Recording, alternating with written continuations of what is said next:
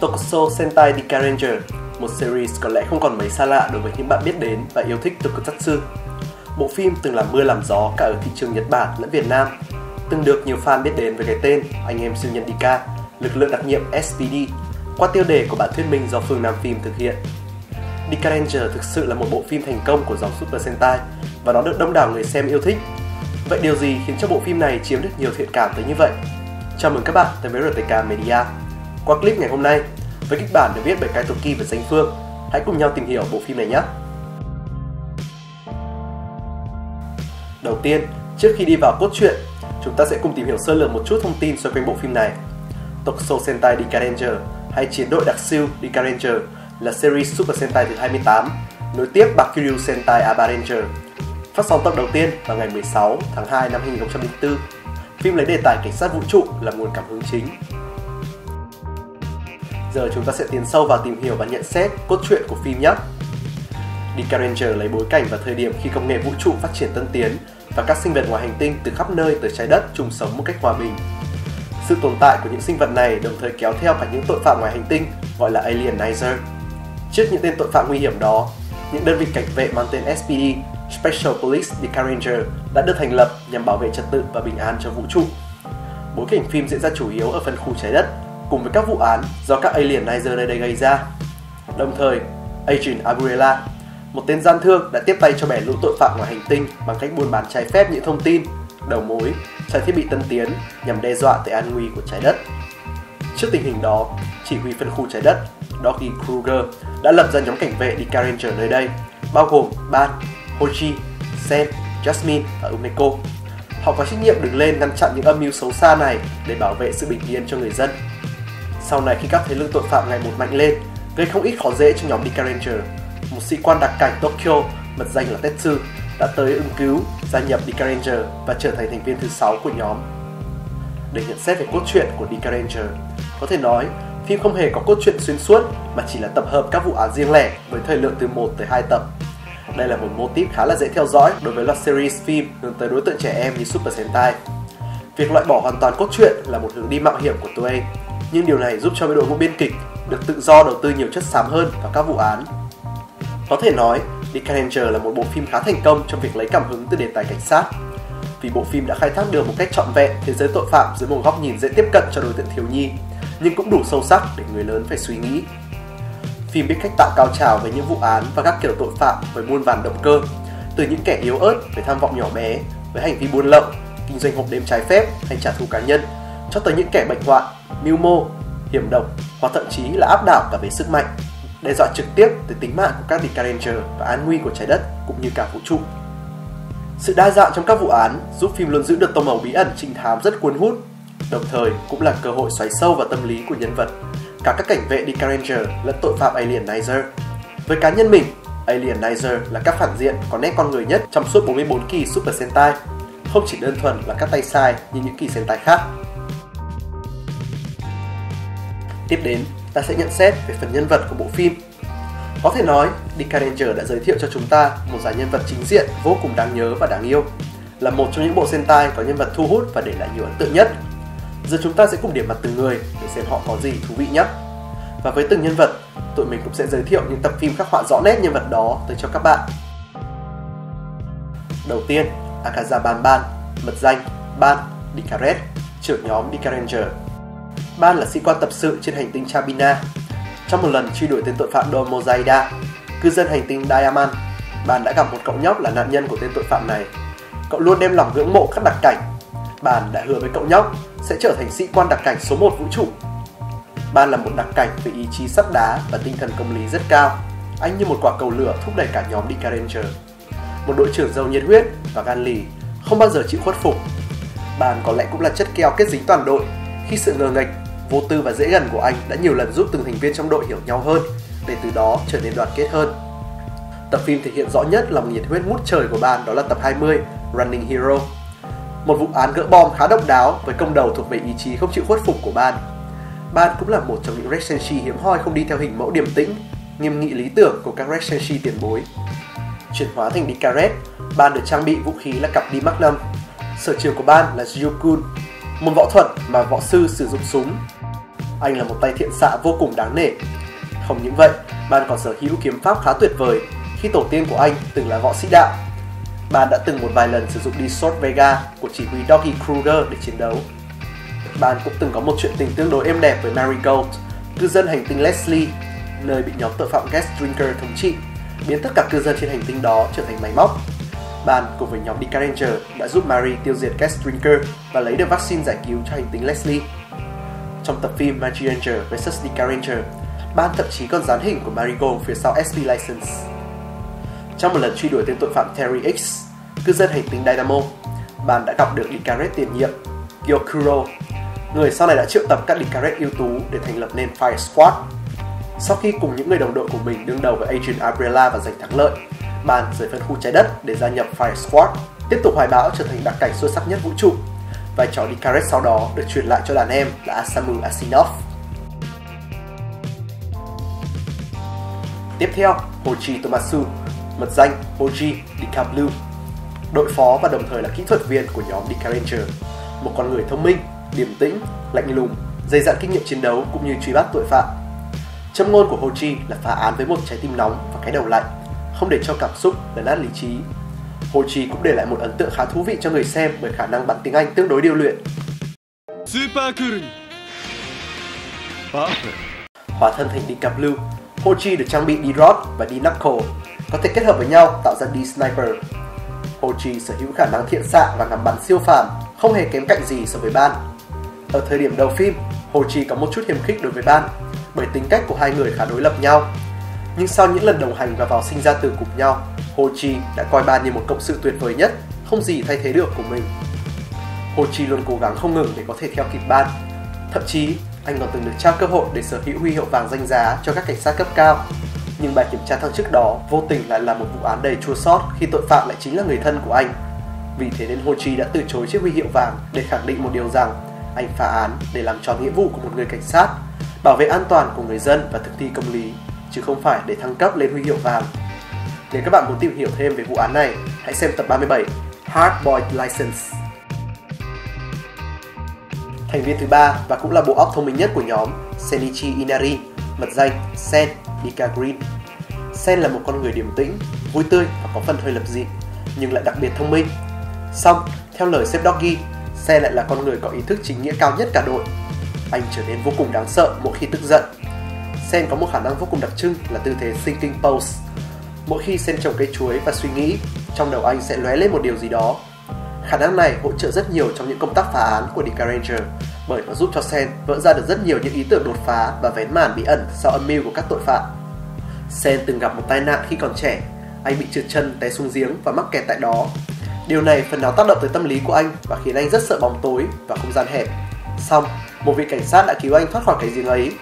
Từ đó, sẽ đem lòng ngưỡng mộ các cảnh sát và sau này gia nhập SPD phân khu trái đất để nối bước vị cảnh sát đó. Chi tiết hơn về câu chuyện quá khứ của Sen, các bạn có thể xem tập 41 Trick Room, một trong những vụ mất tích ly kỳ được phá án bởi sự thông minh tuyệt đỉnh của Sen. Sen được khai thác mối quan hệ tình cảm với Umeko, để gặp Pink. Sau này khi series kết thúc, hai người trở thành tình nhân và kết hôn trong tập phim điện ảnh Uchu Kenji Gavan vs Tokso Sentai Dika Nhưng đáng tiếc ở ngoài đời, sau tất thảy những nỗ lực đẩy thuyền của fan, Umeko lại về chung một nhà với Tetsu.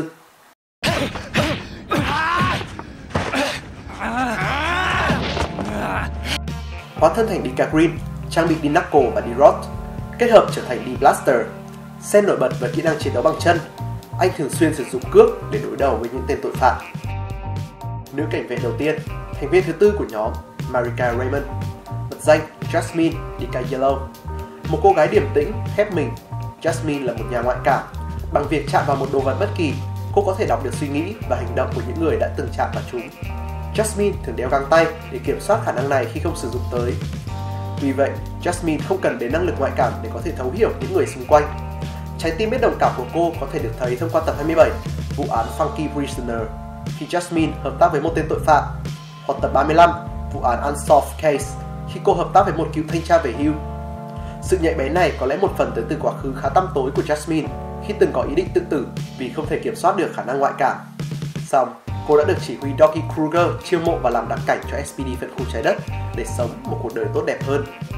Jasmine có sở thích đặc biệt dành cho những alienizer. Cô có mối quan hệ vô cùng khăng khít với Umeko. Hai người là một cặp chiến đấu vô cùng ăn ý với biệt danh Swim Calm Angel.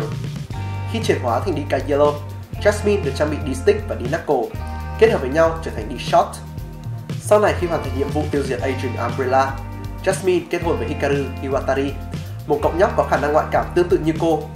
Ở tập phim The Ranger 10 Years After, hai người có với nhau một cậu con trai vô cùng kháu khỉnh. Vai trò Dika Yellow của cô được tiếp nhận bởi đàn em là Mugi Grafton. Thành viên nữ tiếp theo của nhóm, Kome Kodo, mật danh Umeko Dika Pink. Umeko là một cô gái hồn nhiên, vô tư trong sáng, là một người vô cùng lạc quan trong mọi hoàn cảnh. Cùng với ban, cô cũng là một nguồn động viên khích lệ tinh thần cho cả nhóm. Umeko rất thích tắm và cô dành phần lớn thời gian rảnh sau công vụ của mình cho việc ngâm mình trong bồn tắm. Umeko luôn tự cho mình là chỉ huy của nhóm Dika Ranger. Cô khá thân thiết với chú cảnh khuyển máy của phân khu trái đất là Morphe K9. Qua tập 5, Buddy Morphe và tập 39, Requiem World, ta có thể thấy Umeko luôn tin tưởng vào đồng đội, thậm chí là sẵn sàng đặt cược cả tính mạng của bản thân. Như đã đề cập ở trên, cô có mối quan hệ khăng khít với Jasmine. Sau một cuộc tình đổ vỡ, cô nhận ra rằng Sen mới thực sự là chàng trai luôn quan tâm lo lắng cho mình. Umeko từ khi đó đã nảy sinh tình cảm với Sen từ lúc nào không hay. Sau này, mối quan hệ hai người dần một phát triển và sau cùng họ kết hôn với nhau. Chuyển hóa thành đi camping. Umeko được trang bị tương tự như Jasmine, đi Nako và đi Stick. Thành viên cuối cùng trong nhóm Dika Ranger, Tekkan Aira, mật danh Tetsu, thành viên thứ 6 và cũng là thành viên gia nhập nhóm trễ nhất. Tetsu xuất hiện để ứng cứu cho nhóm Dika Ranger khi họ đang bị áp đảo bởi thế lực tội phạm mang tên anh em địa ngục. Tetsu là thành viên của đơn vị tinh nhuệ SPD Tokyo với khả năng quyền pháp vô cùng tuyệt vời gọi là Seiken Axel Blow, môn võ được huấn luyện cho các sĩ quan đặc cảnh Tokyo để chấn áp tội phạm bằng cách sử dụng những chiêu thức khác nhau từ thiết bị biến hình Grace Throttle. Ban đầu khi mới xuất hiện, Tetsu là một gã thanh niên vô cùng ngạo mạn. Anh xem thường nhóm Dika Ranger và cho rằng niềm tin vào công lý của họ chỉ là thứ phù phiếm. Sau này, khi được chính các Dika Ranger bảo vệ và tận mắt chứng kiến ngọn lửa công lý rực cháy bên trong họ, Tetsu đã thay đổi cách nhìn về nhóm Dika Ranger. Sau khi nhiệm vụ tiêu diệt anh em địa ngục kết thúc, anh không rời trái đất mà ở lại gia nhập trở thành thành viên thứ 6 của nhóm, cũng là thành viên ít tuổi nhất. Tetsu là một người có quá khứ bất hạnh khi anh mất cha mẹ trong một vụ tai nạn thương tâm. Câu nói cửa miệng của Tetsu là nonsense. Ngoài ra, Tetsu được biết đến là người có khả năng cải trang, giả gái vô cùng thuần thục. Ở một số vụ án đặc biệt, Tetsu đã giả gái để moi thông tin từ giới tội phạm. Về sau, khi ban chuẩn bị rời xa đội Dika Ranger, Tetsu đã chứng tỏ được cho senpai mình thấy rằng anh có thể thay thế ban trở thành quả cầu lửa của nhóm. Khi ban bị một tên tội phạm ký sinh lên người trong tập phim 48 Fireball Succession, chắc chắn các bạn sẽ phải rớt nước mắt về tình đồng đội giữa các cảnh vệ, cũng như nhận ra Tetsu đã thực sự trưởng thành để có thể thay thế được ban. Sau này khi trận chiến với Agent Umbrella kết thúc, Tetsu từ bỏ huy hiệu vàng để chính thức trở thành sĩ quan phân khu trái đất. Ở tập kỷ niệm 10 Years Starter, sau vụ án liên quan tới Doggy Kruger, Tetsu được thăng chức trở thành chỉ huy tạm quyền của phân khu trái đất. Hai thành viên cuối cùng nhưng không kém phần quan trọng đó là chỉ huy Doggy Kruger và chuyên viên kỹ thuật Swan Siratori. Doggy Kruger là người đứng đầu trụ sở SPD phân khu trái đất, được biết đến là bách trảm ngạ quỷ, địa ngục phiến khuyển bị cả Master. Ông là một chỉ huy khôn khéo, tỉnh táo, hiểu rõ từng thành viên trong đội của mình. Được thể hiện qua tập 20 khi ông chọn ban chứ không phải Hochi làm người đi gỡ bom, một công việc tưởng chừng như cần đến lý trí nhiều hơn. Đồng thời, ông cũng sở hữu kỹ năng chiến đấu và kiếm pháp vô cùng tuyệt vời, thể hiện qua tập 13 High Noon Dogfight khi một mình hạ gục 100 tên người máy. Doggy thường xuất hiện để ứng cứu cho nhóm Dick Ranger trong những vụ án khó khăn và nghiêm trọng. Ông cũng là nguồn động lực cho nhóm Dick Ranger trong những tình thế éo le nhất. Swan Shiratori, chuyên viên kỹ thuật của phân khu trái đất. Cô Swan là một người phụ nữ vô cùng hiền lành và phúc hậu. Cô là người tạo ra những trang thiết bị và cỗ máy cho The Ranger sử dụng. Swan và Doggy cũng có cảm tình đặc biệt với nhau, nhưng chỉ được hé lộ qua một vài chi tiết nho nhỏ trong phim cũng như các tập kỷ niệm. Qua tập 36, Mother Universe, người xem có thể thấy Swan như một người mẹ đối với toàn đội, công hiến vì thực sự quan tâm đến các cảnh vệ, đối lập hoàn toàn với người đồng nghiệp của mình, người chỉ quan tâm đến giải thưởng và sự công nhận. Có thể nói, Doggy và Swan như những bậc cha mẹ đối với nhóm Dick Ranger, chứ không chỉ đơn thuần là mối quan hệ giữa đồng nghiệp, cấp trên, cấp dưới. Mối quan hệ này xuất hiện và được bồi đắp liên tục sau từng vụ án, chứ không làm nửa chừng như các bộ sentai sau này. Nhìn chung về từ nhân vật trong Dick Ranger, bộ phim đã khai thác tốt từng cá nhân với sự phát triển tính cách, hé lộ quá khứ. Tuy nhiên đây là thể loại Super Sentai nên yếu tố tình đồng đội phải được đặt lên cao nhất. Nếu phát triển nhân vật của Dika đã tốt, phim còn làm trọn vẹn hơn cả trong tương tác qua lại giữa từng cặp nhân vật trong phim. Nhóm Dika Ranger được chú trọng phát triển mối quan hệ qua lại với nhau, cho người xem thấy được một sự khăng khít, bền chặt trong tình đồng đội của họ. Để rồi đến tập cuối, Forever Dika Ranger hay thậm chí là cả 10 năm sau, mặc dù các cảnh vệ có bị chia cắt, trái tim của họ vẫn hòa làm một. Những người đồng đội vẫn có thể thấu hiểu và phối hợp ăn ý với nhau để phá án thành công Điều này chứng minh rằng The Carranger có thể nói là đội Sentai có đội hình hoàn hảo và đáng nhớ nhất trong số 44 chiến đội Sentai khi từng thành viên đều có vai trò nhất định trong đội. Có lẽ sẽ không hoa khi nhận xét rằng đây là một dàn nhân vật mà bạn không thể nào ghét nổi. Còn về tuyến nhân vật phản diện của phim thì như mình đã đề cập ở phía trên, thế lực Alienizer trong The Carranger vô cùng đa dạng, khắc họa đậm nét và đầy đủ bức tranh về thế giới ngầm, về những tội phạm đe dọa tới an nguy trong thành phố, từ những kẻ yếu ớt, non kém tới những tội phạm thông minh, xảo quyệt tội phạm công nghệ cao, tội phạm áp đảo về sức mạnh, vân vân. Đặc biệt là kẻ đứng sau giật dây mọi chuyện, tiếp tay cho mọi thế lực tội phạm trong phim, Adrian Aguilera, một kẻ phản diện thực sự có tầm bởi trí tuệ và âm mưu hiểm độc của hắn, bởi những toan tính được nhe nhóm suốt từ những tập phim đầu tiên và ngấm ngầm thực hiện cho tới khi hoàn toàn chiếm quyền chỉ huy Decabase, tước đi khả năng biến hình của nhóm Dika Ranger và đe dọa trực tiếp tới an nguy trái đất, thách thức toàn bộ cảnh sát trong vũ trụ. Nhìn chung, dàn nhân vật của Dika Ranger từ chính tới phụ, từ chính diện tới phản diện đều đã được xây dựng một cách trọn vẹn và thành công. Tiếp theo về phần âm nhạc của bộ phim thì mình cũng xin dành một lời khen ngợi đặc biệt. Nhạc phim của Dick Ranger từ các bài background music tới original soundtrack đều vô cùng bắt tai, tương trợ tốt cho cảnh phim và đôi lúc có thể đưa người xem qua nhiều cung bậc cảm xúc khác nhau. Với âm nhạc, chúng ta nhìn rõ hơn sự hào hùng của các cảnh vệ Dika, nhưng cũng thầm hơn những nỗi buồn của các vụ án đem lại. Nếu để chọn ra hai bài nhạc mình yêu thích nhất trong phim, mình sẽ không ngần ngại lựa chọn bài opening Tokso Sentai Dika và SWAT on Dika Cuối cùng, chúng mình sẽ điểm mặt một số yếu tố đã khiến cho bộ phim Dika thành công tới vậy. Không chỉ ở Việt Nam mà là cả ở Nhật Bản nhé. Đầu tiên, có lẽ là chủ đề cảm hứng của bộ phim. Phim lấy đề tài cảnh sát, một chủ đề khá gần gũi và quen thuộc trong đời sống Nhật Bản. Không những vậy, bộ phim khai thác một cách trọn vẹn thế giới cảnh sát, tội phạm dưới góc nhìn nhẹ nhàng dành cho trẻ em, nhưng cũng không thiếu những vụ án phức tạp, nghiêm trọng, đủ thu hút cả những khán giả trưởng thành. Hơn thế nữa, phim còn lấy bối cảnh rộng lớn hơn phạm vi trái đất, đó là vũ trụ, một trong những chủ đề cũng không kém phần thu hút sự tò mò từ khán giả. Dick Ranger đã khắc họa một vũ trụ rộng lớn nơi tồn tại những sở cảnh sát liên ngân hà luôn sẵn sàng truy bắt tội phạm để bảo vệ bình an cho vũ trụ.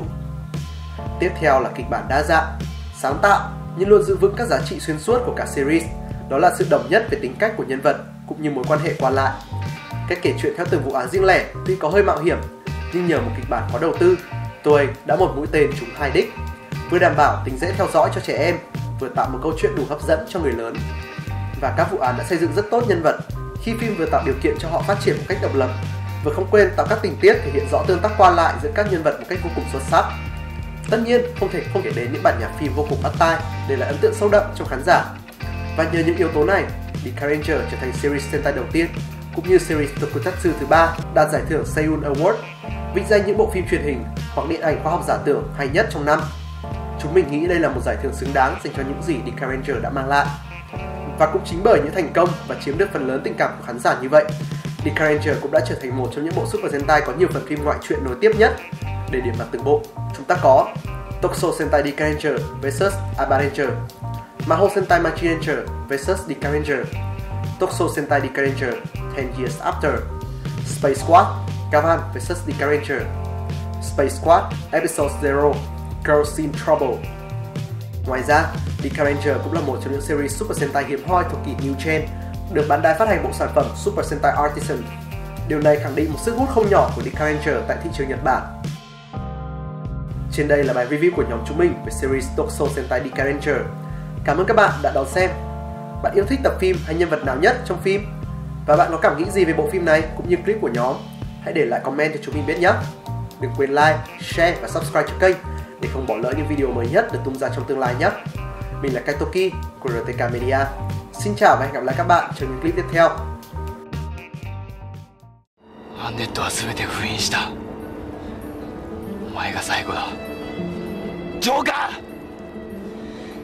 ー。俺とお前は戦うことでしか分かり合えない。